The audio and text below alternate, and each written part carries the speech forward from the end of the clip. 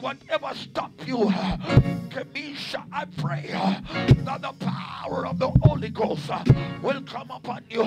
And even that job that you do, you will change it.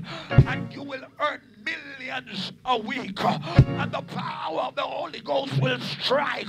And every dead thing Anybody will wish bad for you, may come back in on them bosom by the blood of Jesus. I command victory now. I shut down the heart of witchcraft and every curse is in your life. I command Gabriel and Michael to manifest the power. And I command resurrection anointing to come upon you now. Now, now, now, now, now, now, now. Hey, hey. Lift your hands. Lift your hands.